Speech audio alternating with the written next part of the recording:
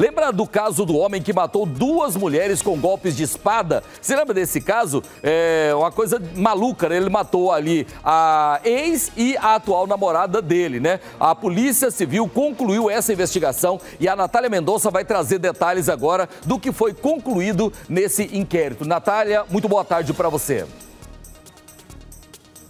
Oi, Oloares. Boa tarde para você, para quem nos acompanha. A novidade desse caso é justamente essa. A Polícia Civil, o delegado responsável por essa investigação, finalizou o inquérito policial e já encaminhou ao Poder Judiciário. Lembrando que esse crime, esse duplo homicídio, aconteceu no dia 27 agora de setembro. No documento, o delegado relata exatamente o que aconteceu. Vou narrar aqui para quem está em casa. O Renan dos Santos de Moraes foi indiciado por homicídio qualificado por motivo torpe, meio cruel que dificultou a defesa das vítimas e também por ter sido contra mulheres. Essa investigação realizada pela Polícia Civil esclareceu que esses feminicídios tiveram como motivação o fato de Luana, que era a atual companheira do Renan, ter descoberto que ele estava enviando mensagens para Ana Júlia, com quem ele já tinha tido uma união estável há alguns anos. A Luana pediu a uma amiga em comum para que ela entrasse em contato com a Ana Júlia através de mensagens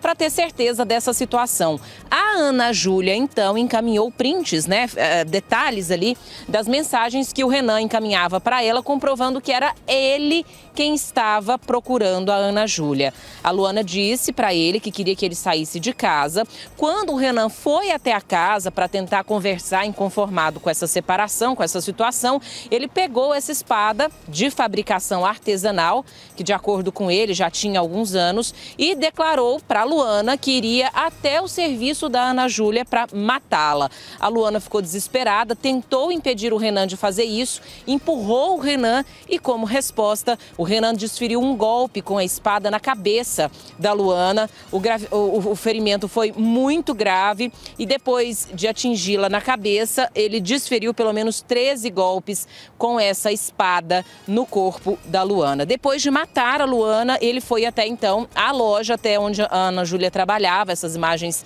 a gente mostrou aqui inúmeras vezes. Ele chega lá de bicicleta. O delegado ainda destaca que ele percorreu o trajeto que tem 1 quilômetro e 400 metros entre a casa onde ele estava ali com a Luana até o trabalho da Ana Júlia em apenas dois minutos. Foi muito rápido, o que demonstra realmente a intenção dele. Quando ele chegou lá nessa loja, uma loja de variedades domésticas, onde a Ana Júlia trabalhava, ele entrou de forma super rápida, surpreendeu a Ana Júlia, que estava atendendo uma cliente, impediu qualquer chance de defesa, abordou a Ana Júlia e golpeou essa mulher diversas vezes em várias partes do corpo, também com essa espada. Imaginando que a Ana Júlia tinha morrido ali na hora, ele fugiu do local e deixou essa espada lá.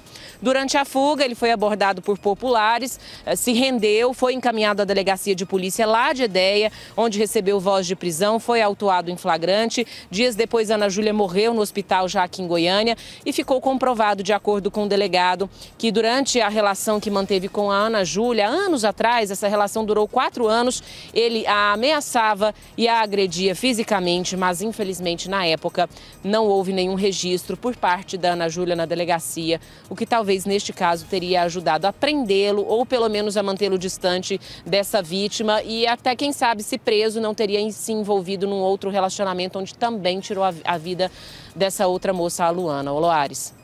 Obrigado, Natália. Natália Mendonça trazendo informação sobre esse caso, uma tragédia, mais uma daquelas histórias que a gente não sabe onde vai passar, onde vai parar. E aí, Natália, a gente fica se perguntando, né? Eu não sei se é, com você acontece a mesma coisa. Eu, como comunicador, acho que você também, como comunicador, a gente fica perguntando o que, que a gente poderia fazer? A gente poderia denunciar, propor uma ideia, propor uma saída. A gente não sabe, né, Natália? A sensação que a gente está na beira de um abismo, vendo as mulheres sendo assassinadas e jogadas nesse buraco, é, e a gente não sabe o que fazer, porque a cada dia que passa, a crueldade contra as mulheres parece que só está aumentando, né, Natália?